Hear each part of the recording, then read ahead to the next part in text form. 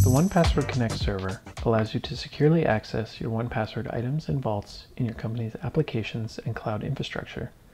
One common use case is being able to programmatically access secrets and then use them in your apps and CI/CD workflows.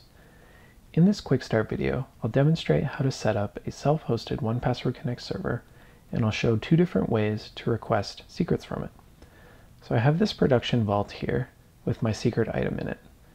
This item has some credentials that my application needs, but I don't want to store them insecurely on disk, so let's set up Connect to get access to them.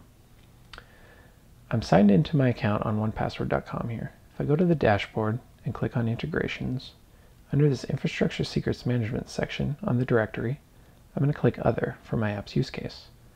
I'll click on Create a Connect Server, and for the environment name, I'll call it Production and give it access to the production vault that I showed earlier. I could change this environment's level of access to the vault, but read-only is sufficient here. For the token name, I'm going to call that app. I'll set it to never expire. I'll give it access to that production vault, and again, it will have read-only access. When I issue the token, the Connect server is created. I have this 1Password credentials.json file, which I'm going to download to my local disk, and I have this access token, which I'm going to copy to my clipboard. We can see that the Connect server for production here is now configured, but it's not deployed yet. So let's go to the docs to learn how to do that. If I go to get started here, you can see that we've actually already completed step one because we have the credentials.json file and we have the access token. So let's go down to step two to deploy the server. We're going to use Docker. I already have Docker installed on my local machine, and we have this credentials.json file, but we need an example docker compose.yaml file. So I'm going to go ahead and download that to my local disk and switch to my terminal.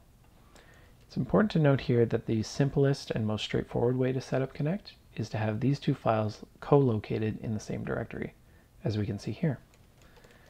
If I type docker compose up this starts the local Connect server. I'll switch to my API testing tool here. From the docs, I know that the host is localhost 8080, and I've gone ahead and pre-filled my Vault ID and my item ID. If I replace this with my token and send the request, I can see that the values come back as I expect them to. I have my secret username here and my secret password here. Perfect.